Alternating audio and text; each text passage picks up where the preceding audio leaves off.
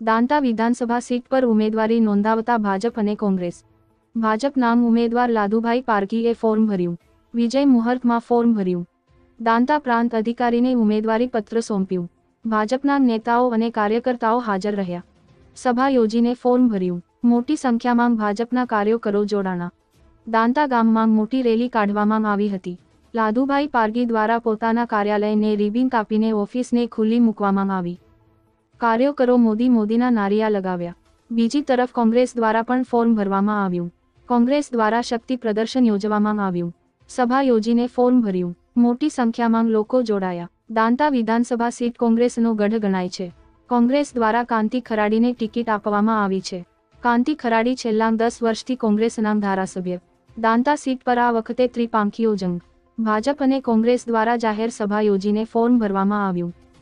પાર્ટીએ મારા પર વિશ્વાસ મૂક્યો છે અને આમ જનતાએ, કાર્યકર્તાએ, ભાઈઓએ મને ખૂબ મારા પર વિશ્વાસ મૂક્યો છે.